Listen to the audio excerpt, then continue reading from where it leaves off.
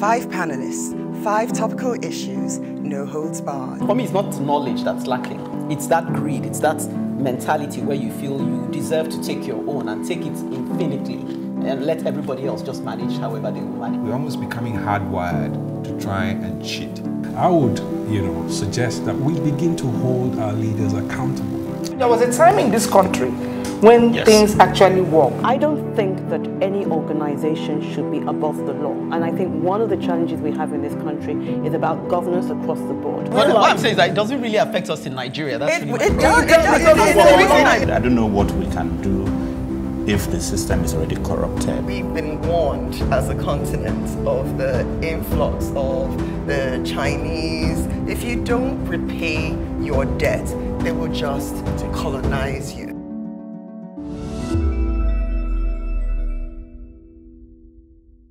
Ekene speaks of self-restraint, whereas I'm asking what happens when that capacity is dysfunctional.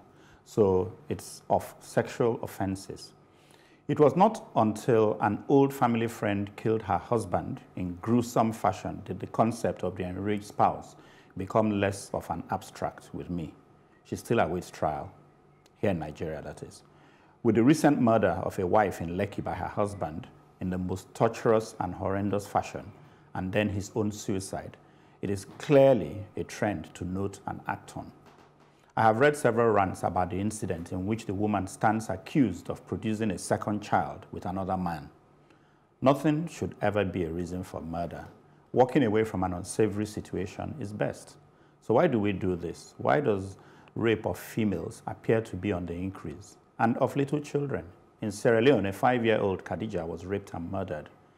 We are still dealing with reports here in Nigeria, like Justice for Uwa. The trend is now starting to move towards male homosexual gang rape. May I add that gang rape appears to be the preferred evil. Meanwhile, Nigeria's northern region, long known to be somewhat accepting of child marriage and child abuse, have refused to pass laws that deal with this rising evil. The current government and police and judiciary have failed the nation. The president, Major General Buhari, is never seen with sleeves rolled up Rather, statements are made on his behalf that full justice will be brought to bear on such criminals, but nothing ever happens. This is an indictment of top law officials of the nation. I read all the time, especially from women, about sorting out sons. That's all fine, except that there are always two sides to things. Much as a man should go to jail or be castrated for rape, may I suggest that parents train both sexes to navigate this world devoid of this evil. The tired old narrative of it's not the dress I have on impedes progress. Anyone who still wants to hold on to the male narrative, or in the case of a female propagated rape, the opposite, is fighting a harder battle.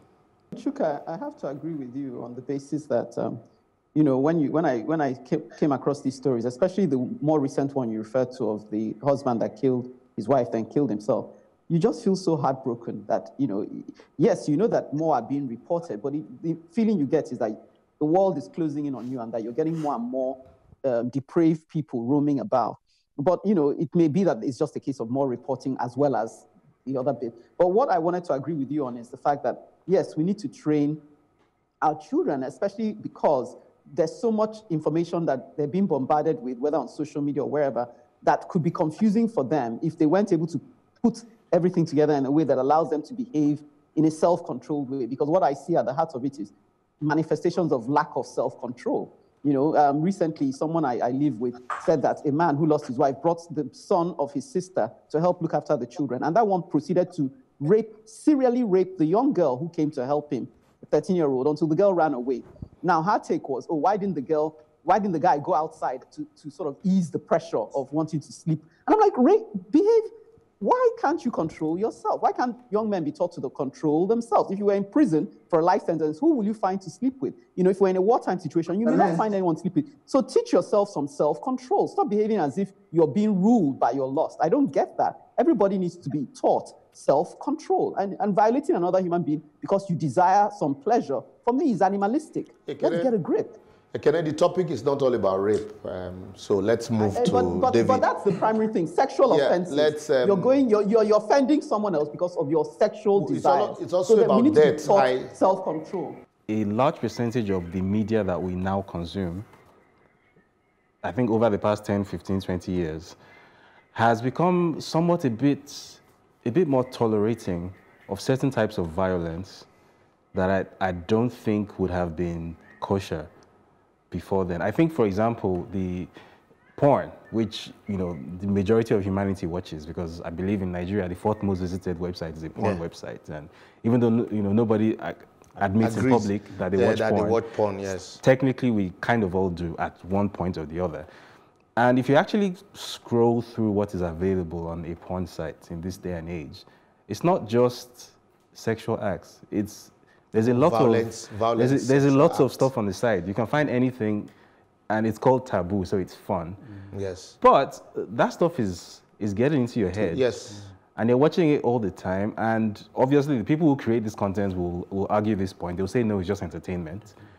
But entertainment does have an impact, Impact, on the human yeah. brain. But I don't think we've had the, the research or the studies into these things yet to actually study how, from a young age, having access to like limitless amounts of porn on the internet, how it actually interferes with a young man's mind. Because like, I can speak for men. You know, the way I grew up and the way you know men are growing up now, even though I didn't grow up that long ago, there's a marked difference. Yeah. You know, and I'm not sure that this uh, is being acknowledged, that there's some kind of danger in there. You know, uh, that's obviously, true. No, agree with it may not, nec- it may not you to a very necessarily be the extent. case that uh, violence But- is worse now. I I agree with you, but I don't know if Uche agrees. I do agree. Um, first of all, I wanted to say that I believe it's really just more reporting because I remember as a child I used to hear horror stories, and uh, practically nearly every uh, female I have ever come across has always reported some case of abuse, be it by an uncle or house help or something. So um, I just think that it's just the manner in which it's getting to us, and so it, you know, we're on top of that, we're getting all these gruesome pictures, and you know, so it seems like it's really it's a lot worse. But it's good because it makes us address the issue. Now, um, uh, what I wanted to say really was that in order for you know telling people oh they need to control themselves, well, you know, I always look at it like um, it, to stop corruption. It's not uh, really about trying to change how the, whether the person uh, change how the corrupt person is thinking. It's really more about processes. If you put the right process in place to checkmate the corruption, then you know just assume that everybody's corrupt, everybody is a, a thief, and you just put the right processes in in, uh, in place to check it. So I'm just looking at rape and abuse and all these other things.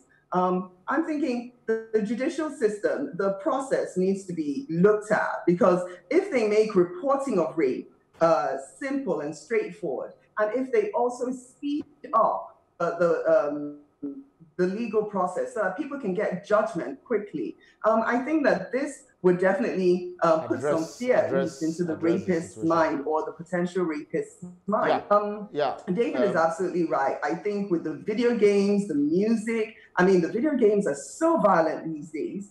The music uh, that people listen to, the rap or whatever it is, Uche, we hear you and also, like you said, porn. But it doesn't even have to be porn. There's a lot of stuff going on on normal TV now that even young kids get get exposed to. But most fantastic. of our parents teach your children the right way.